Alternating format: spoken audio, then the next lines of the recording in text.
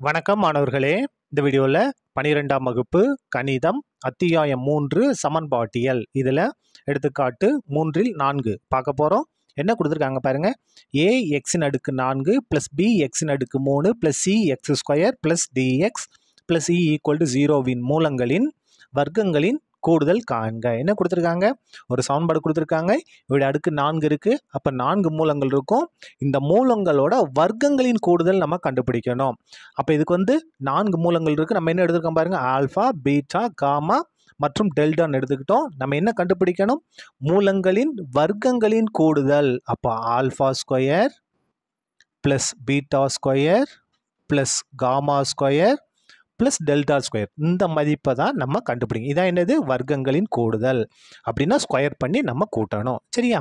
இப்போது இதை வந்து நம்ம தனித்தனியாக கண்டுபிடிக்கலாம். முதல்ல என்ன கண்டுபிடிக்க போகிறோம்னா ஒன்று சம்மேஷன் ஒன்று அப்படின்னா ஒவ்வொரு இதாக கூட்டணும். அதாவது ஒவ்வொரு மூலங்களாக கூட்டணும். Alpha plus beta plus gamma plus delta அப்படின்னா என்ன அர்த்தம்னா மைனஸ் எக்ஸ் கியூபின் கெழு.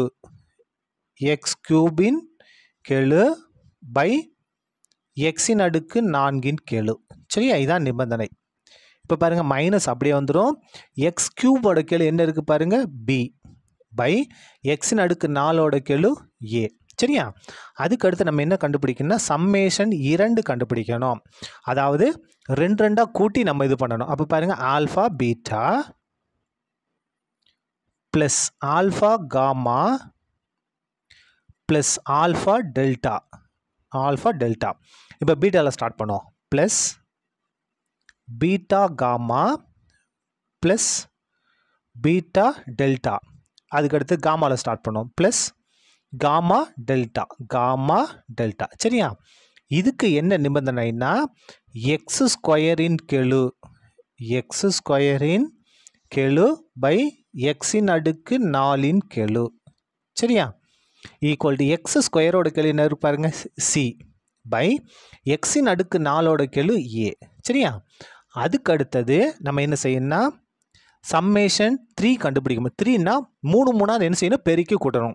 முதல்ல ஒன்று ஒன்றா எழுதணும். அதுக்கடுத்து ரெண்டு ரெண்டாக பெருக்கி கூட்டணும் இங்கே சம்மேஷன் மூணு மூணாக பெருக்கி கூட்ட போகிறோம் மொத்தம் நாலு இருக்கா?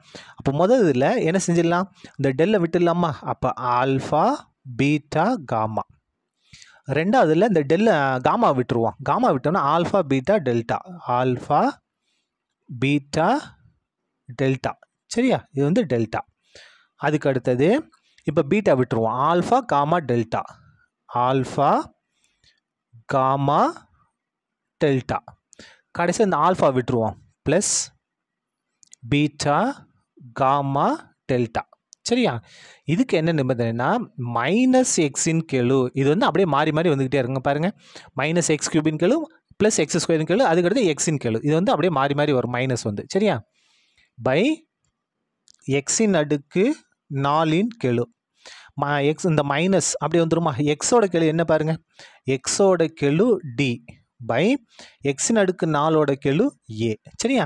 அதுக்கடுத்து நம்ம கண்டுபிடிக்க போகிறது சம்மேஷன் ஃபோர் அப்போ நாளையுமே ஒன்றா எழுத போகிறோம் எப்படின்னா ஆல்ஃபா பீட்டா காமா டெல்டா இதுக்கு என்ன நிபந்தனை மாறிலி உறுப்பு. மாறிலி உறுப்பு பை எக்ஸின் அடுக்கு நாலின் கெழு. சரியா? மாறிலி உறுப்புங்க என்ன இருக்குது இ e. பை எக்ஸின் அடுக்கு நாலோட கெழு ஏ எல்லாத்தையும் நம்ம கண்டுபிடிச்சிட்டோம். சம்மேஷன் ஒன்று summation two summation three summation four கண்டுபிடிச்சிட்டோம்.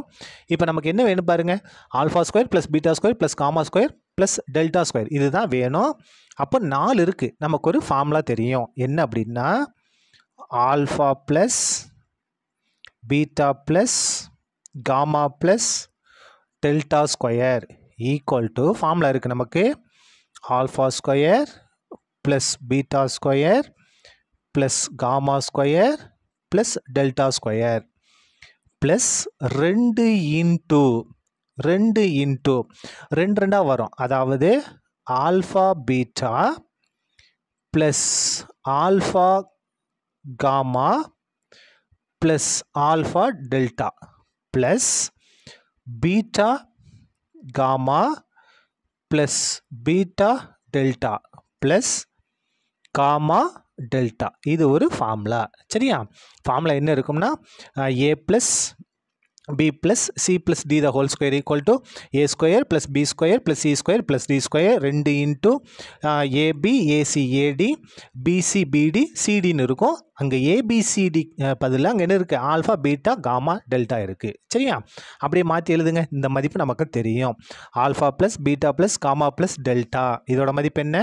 மைனஸ் பி பை ஏ அப்போ இதுக்கு பதிலாக நம்ம என்ன மாற்றிக்கலாம் மைனஸ் பி பை ஏ அடுக்கு என்ன இருக்குது ரெண்டு. ஈக்குவல் டு இதுதான் நம்ம கண்டுபிடிக்கணும். வர்க்கங்களின் கூடுதல். Alpha square plus beta square plus gamma square plus delta square இதான் நம்ம கண்டுபிடிக்க போகிறோம் இந்த ரெண்டு அப்படியே வந்துடும் பாருங்கள் இது வந்து நமக்கு தெரியும். என்னது? ரெண்டு ரெண்டா? பெருக்கி கூட்டியிருக்காம அங்கே இருக்குது பாருங்கள் இதோட மதிப்பு இந்த இடத்துல இருக்குது என்ன இருக்குது C by A C by A எழுதிக்கலாமா? C by A இந்த ரெண்டு கூட நமக்கு தேவைப்படலை இதை விட்டால் கூட நமக்கு பிரச்சனை கிடையாது. சரியா? இப்போ பாருங்கள் மைனஸ் பிஏ ஸ்கொயர் பண்ணால் ப்ளஸ் பி ஸ்கொயர் ஏவை ஸ்கொயர் பண்ணால் ஏ ஸ்கொயர் இதை உள்ளே பெருக்கிட்ட என்ன ஆகும்? ரெண்டு சி பை ஏ இடது பங்கு கொண்டு வாங்க.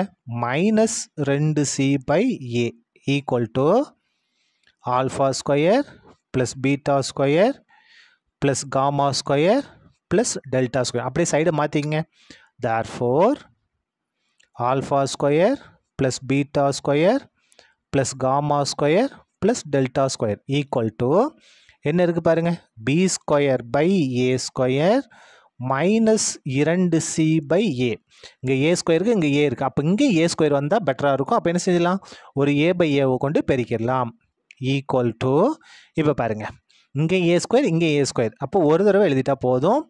இந்த பி ஸ்கொயர் அப்படியே வந்துடும் மைனஸ் அப்படியே வந்துடும் ரெண்டு சிஏ நீங்கள் ரெண்டு சிஏன்னு எழுதலாம் சரி இல்லை ரெண்டு ஏசின்னு எழுதலாம் சரி. இதுதான் நமக்கு தேவையான மூலங்களின் வர்க்கங்களின் கூடுதல். சரியா? அவ்வளோதான் இந்த கணக்கு முடிந்தது. நன்றி.